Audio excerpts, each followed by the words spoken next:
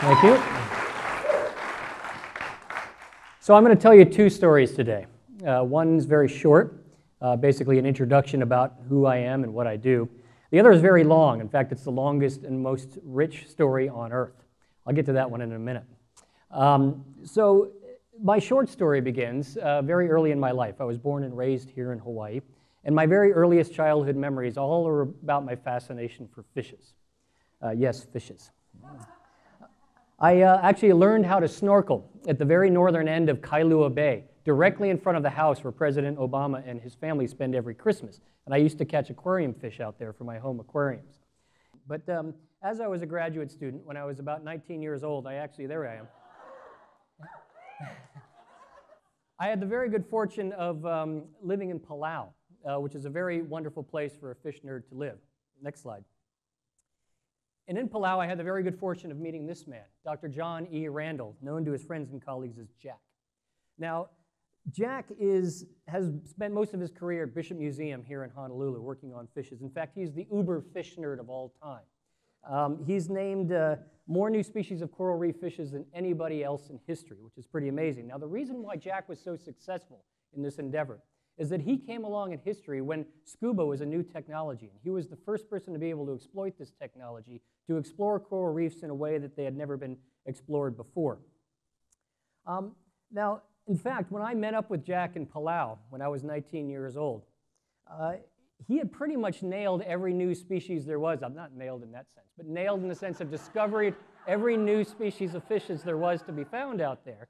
And, and it was very hard for a young ichthyologist like myself to try to, try to keep pace. Um, so the only way I was able to find new species, if I wanted to go find new species, was to dive outside the realm of where scuba allowed Jack to go, about 200 feet down. Um, if I wanted to find new species, I had to go beyond this depth into this twilight zone, uh, well below those depths. Now, in my zeal to find new species of fishes, I, um, well, I picked a fight with the laws of physics, and the law won. Um, about a couple of days after this photograph was taken, I ended up having a very severe case of decompression sickness, also known as the bends. I was quadriplegic. It took me almost a year before I could walk normally again. So that was a pretty serious uh, moment in my life. Um, the doctors had told me never dive again. Um, but uh, the, the allure, the, the thrill of discovery and exploration had left an impression far deeper than the scars on my spinal cord. And so I decided that um, I just, this is what my calling in life was to explore coral reefs down deep. Now, notwithstanding what I look like in this photograph, I wasn't a complete idiot. I actually knew enough to know that diving deep was crazy. And so I started thinking about ways I could do it a little more safely.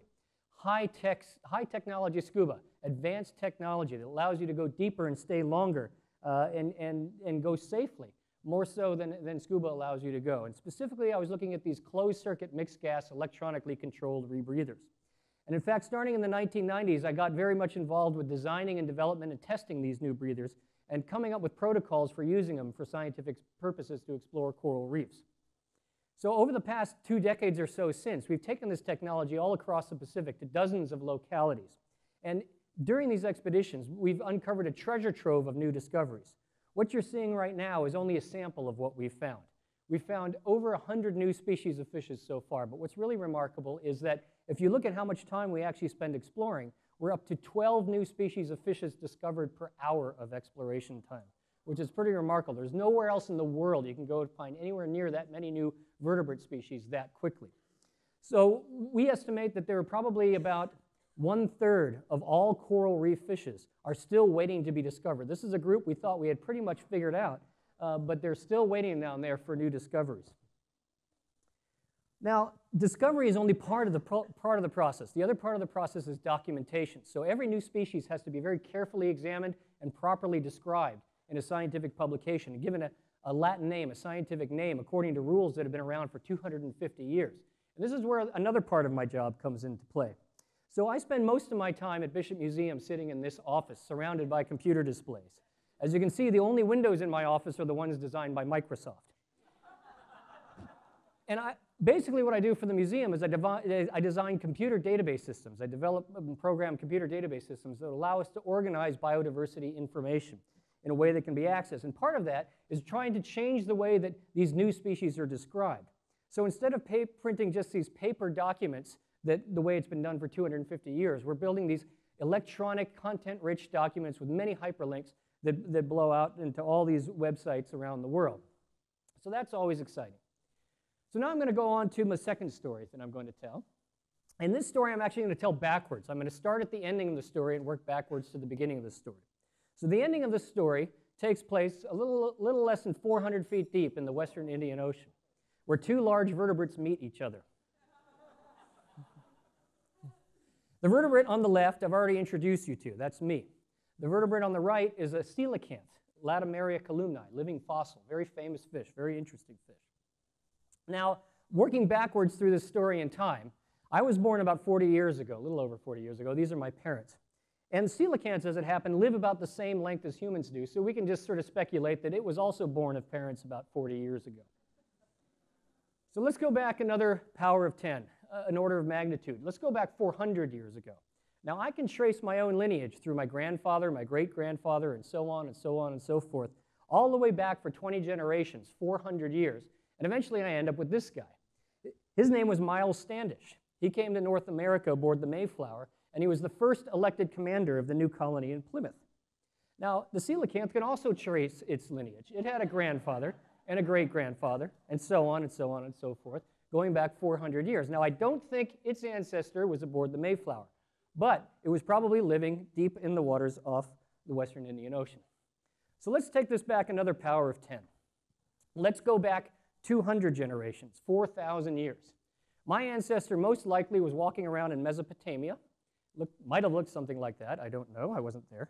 Um, and the coelacanth also had an ancestor that lived that long ago. Generation after generation, we can trace it back. And it probably looked something like that, and probably lived somewhere in what was then the Western Indian Ocean.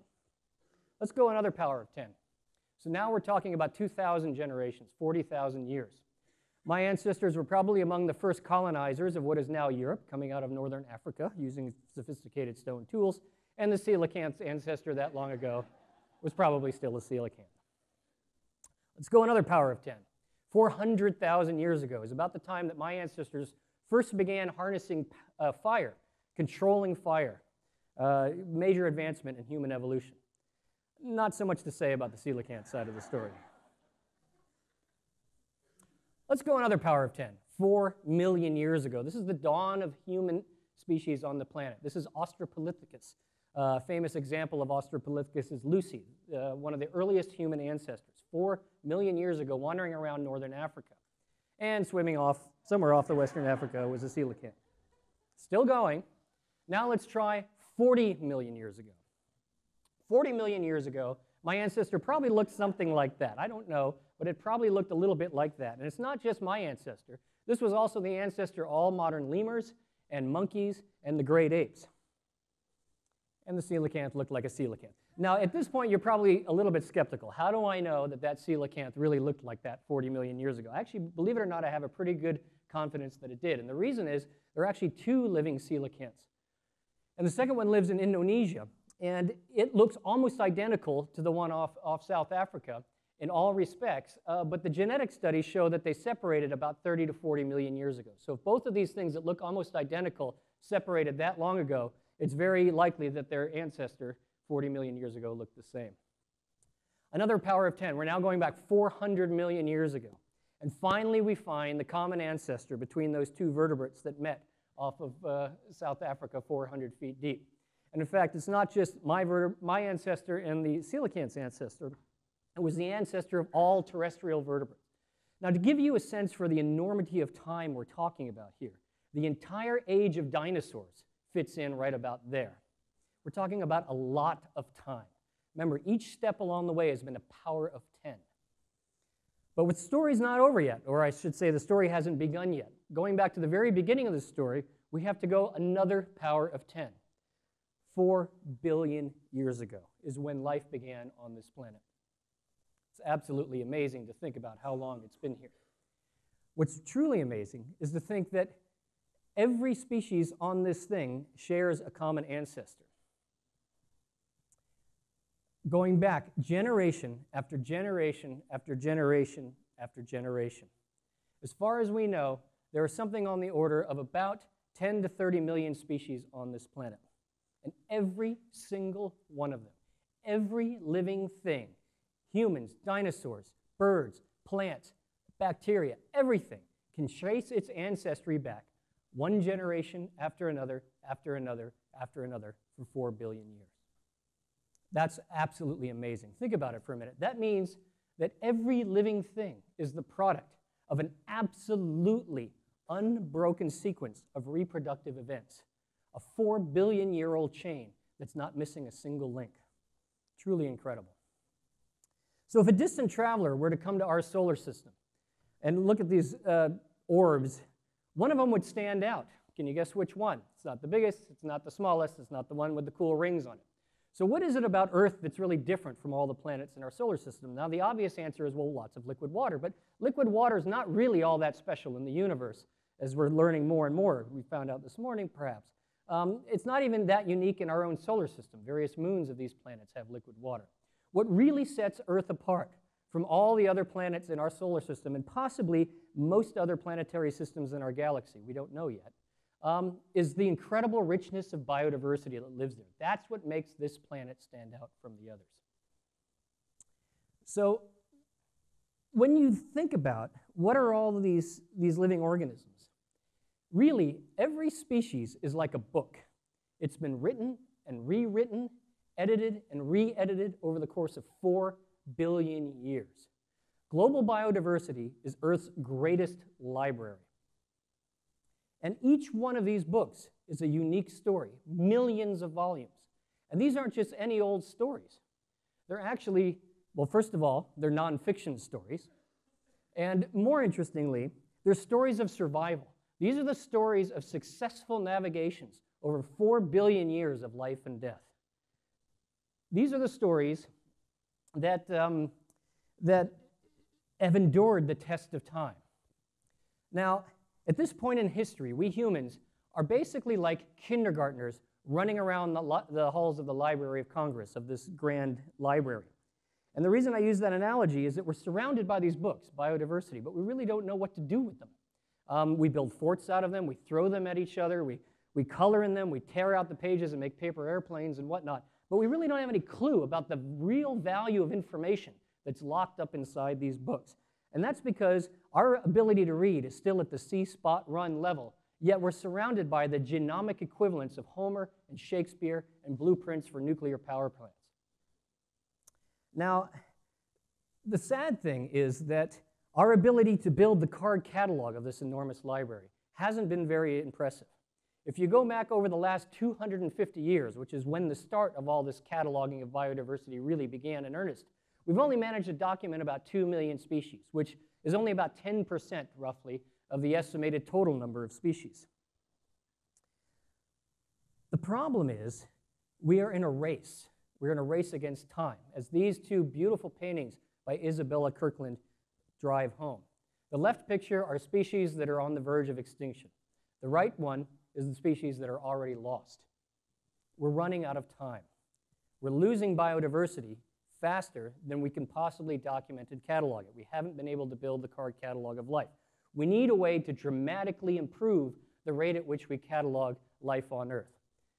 Something needs to happen there. Unfortunately, we don't know what, and we may never know what, depending on what happens next.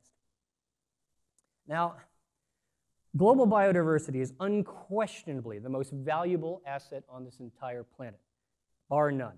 The information content of the Library of Alexandria was trivial compared to this library. Absolutely trivial. And now, people like me, the taxonomists of the world, we have the most important job of all. We are the librarians. We are the ones building the card catalog and, and uh, generating the indexes of all life on Earth. And um, we're in an interesting time in history right now because we're the first generation to recognize the impact we're having on this planet. But we're probably the last generation, very likely the last generation, in a position to do anything about it. As my very good friend and uh, TED Prize winner, Sylvia Earle, has said, our actions in the next two years will determine the next 10,000 years. So, in other words, it's about time. Thank you.